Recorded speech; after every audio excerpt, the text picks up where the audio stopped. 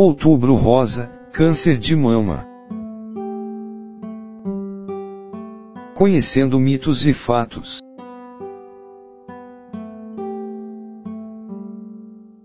Com o Outubro Rosa, Câncer de mama. Ao virar cada esquina, o mundo vai estar focado para a explosão anual do rosa temático em produtos, festas, atividades e eventos, a fim de levantar dinheiro para a pesquisa do câncer de mama e aumentar a consciência da doença. Mais de 50 mil mulheres, a cada ano, são diagnosticadas com câncer de mama no Reino Unido, e infelizmente destas, em torno de 12 mil mulheres morrem da doença. Doutora Liza Wilde, diretora de pesquisa da mama e da campanha do câncer, relata HuffPost UK.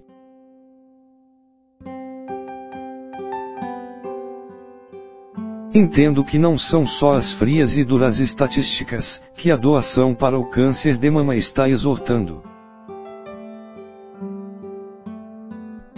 O câncer de mama não tem apenas uma causa.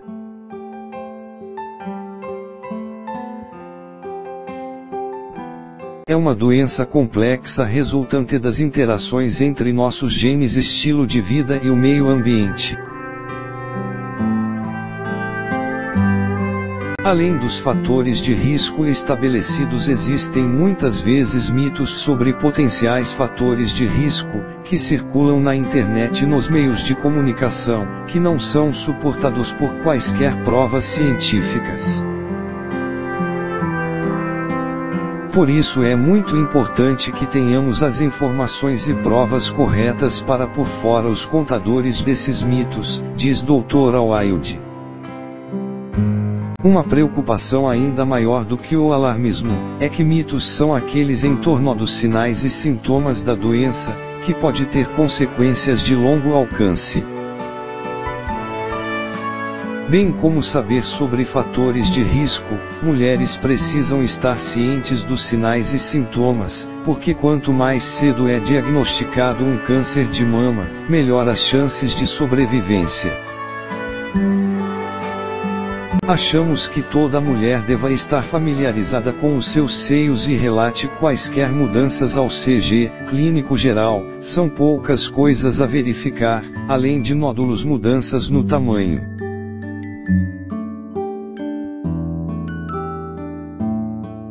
Curso da dor, inchaço, vermelhidão e erupções cutâneas em áreas na mama e axila, bem como as alterações para os mamilos, vazamento ou inversão dos mamilos. Ambel Bentley, médica diretora da Bupa Medical Services acrescenta, é útil para homens e mulheres entenderem que o câncer de mama pode causar uma série de alterações em suas mamas, não apenas um nódulo. Então, é importante obter aconselhamento de um médico, se notarem mudanças em seus seios, que não sejam normais para si, pessoalmente. A HuffPost UK falou com alguns dos principais gestores da campanha de esclarecimentos sobre o câncer de mama, e peritos médicos para esclarecer os fatos e desmascarar alguns dos mais comuns mitos que cercam a doença.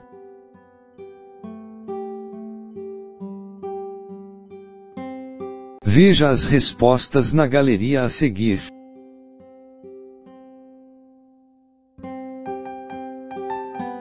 Mito, um estilo de vida saudável mais sem histórico familiar igual sem risco de câncer de mama. O câncer de mama pode infelizmente acontecer com qualquer um, em qualquer idade, diz a doutora Liza Wilde, diretora de pesquisa de mama e campanha de câncer de mama.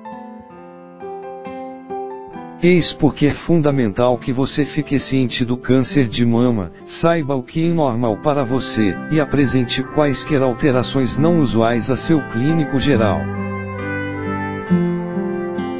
No entanto, apesar das escolhas de estilo de vida não garantir a prevenção, Caroline Rogers, clínica enfermeira especialista em tratamento de câncer de mama, afirmou.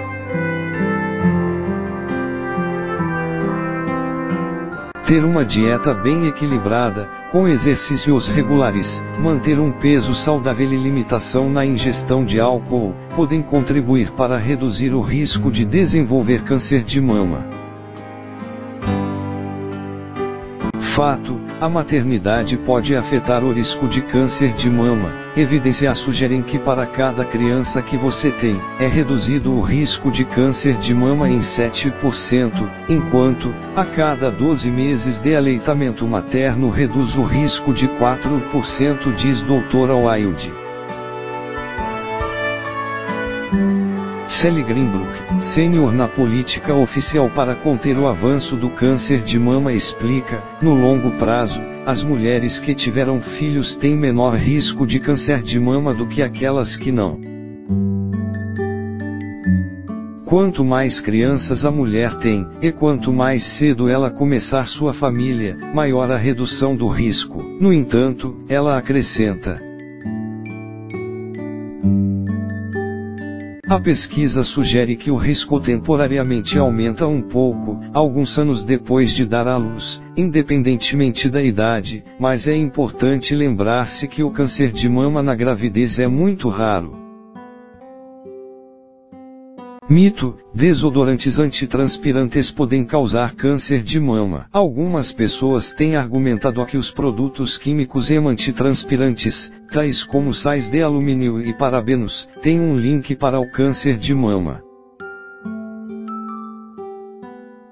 Mas nenhuma evidência científica de confirmação desta alegação foi encontrada, diz Dra. Wilde. Isso é um mito comum, que aparentemente começou de uma afirmação por e-mail há alguns anos, diz Ambel Bentley, médica diretora da BUPA. Investigação desde então, olhando para desodorantes e câncer de mama não tem encontrado um link comprovado, no momento não há nenhuma evidência que sugira que os parabenos causam o desenvolvimento do câncer de mama. Tudo o que é conhecido é que esses produtos químicos estão presentes em alguns cânceres de mama.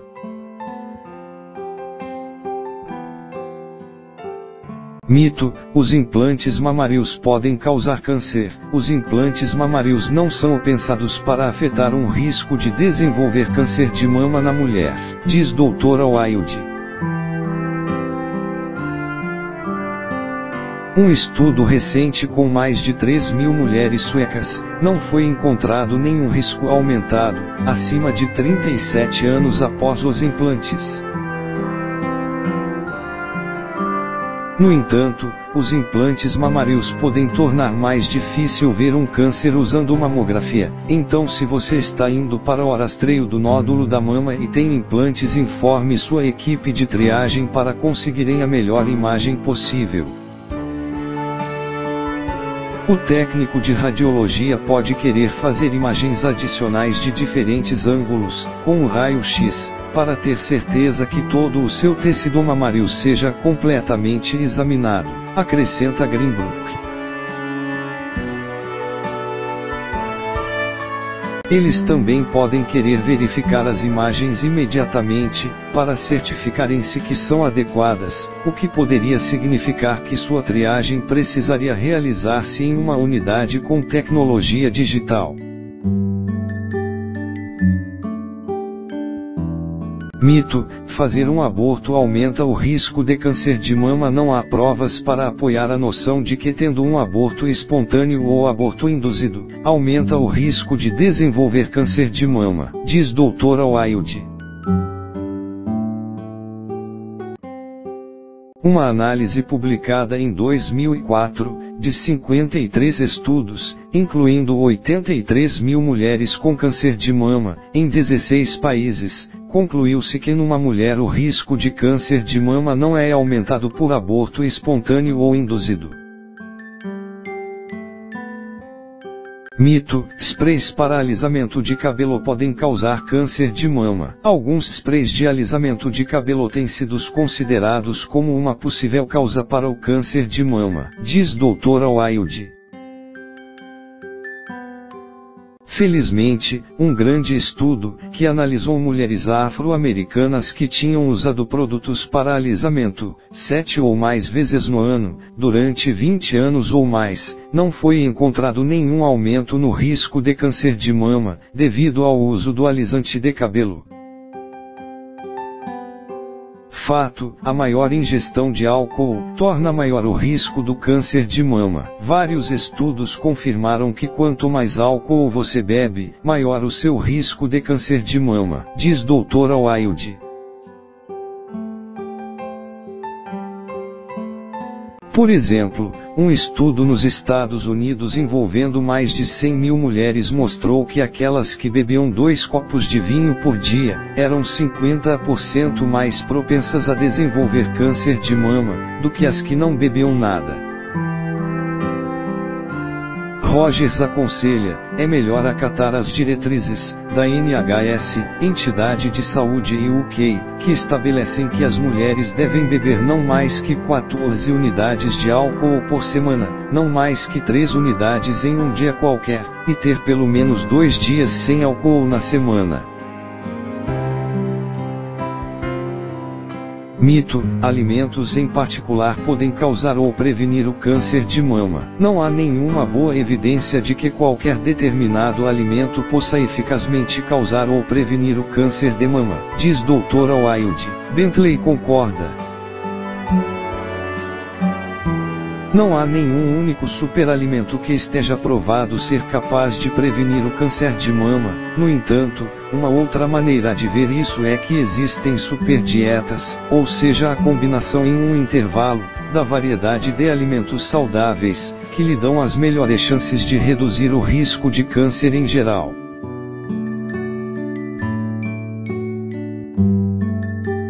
Uma dieta equilibrada saudável é aquela que inclui abundância de frutas frescas e vegetais fibra, alimentos ricos em amido, proteínas magras e laticínios de baixo teor de gordura.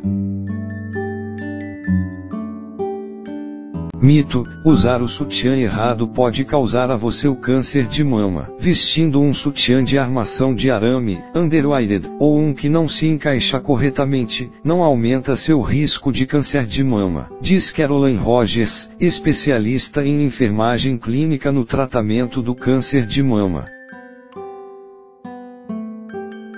Mas se o sutiã é muito apertado ou muito pequeno pode causar desconforto ou dor, baixar seu guia para um sutiã bem ajustado para descobrir o tamanho que o sutiã deve ter para o conforto e suporte. Mito: o câncer de mama afeta somente as mulheres. Os homens também podem ter câncer de mama, embora raro, todos os anos, cerca de 350 homens são diagnosticados no Reino Unido, em comparação com cerca de 55 mil mulheres, explica Rogers. Muitas pessoas não sabem que os homens podem ter câncer de mama, porque eles não imaginam os homens como tendo seios. Na verdade, ambos os homens e as mulheres têm tecido mamário, embora os homens tenham quantidades muito menores do que as mulheres. A maioria dos homens que têm câncer de mama estão com mais de 60 anos, embora os homens mais jovens podem ser afetados, nós devemos incentivar os homens e as mulheres, para estarem cientes de suas mamas, para que possam detectar e relatar quaisquer mudanças incomuns, a seu clínico geral, assim que possível. Fato, certos anticoncepcionais são ligados ao risco de câncer de mama. Estabeleceu-se que as mulheres que tomam a pílula anticoncepcional combinada têm um risco ligeiramente aumentado no desenvolvimento do câncer de mama, diz Dr. Wilde. Mas, o risco associado com a pílula diminui quando se para de tomá-la e retorna ao normal depois de 10 anos. Ela acrescenta: é importante notar que 80% dos nódulos da mama são diagnosticados em mulheres acima de 50 anos. A idade é um fator de risco maior e desde que a pílula anticoncepcional seja tomada em grande parte por mulheres mais jovens, este fator de risco contribui para poucos casos extras de câncer de mama. Greenbrook também aponta que a pílula combinada mudou em recentes décadas. Ao longo dos últimos 30 anos, os níveis da produção de estrogênio, hormônio feminino na pílula combinada, diminuíram.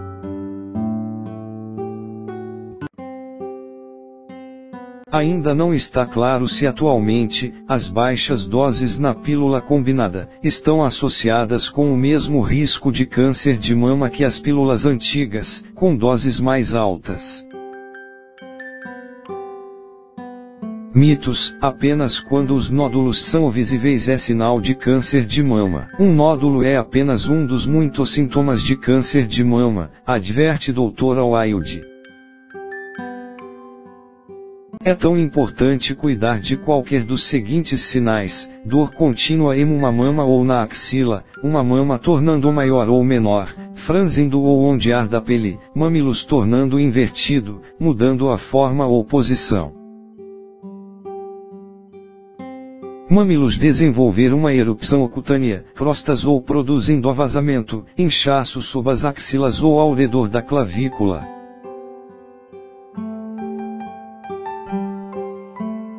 Verificar todas as partes da sua mama incluindo suas axilas e clavícula, acrescenta Rogers. Defende a descoberta do nódulo da mama pelo TOV, ou toque, olhe, veja.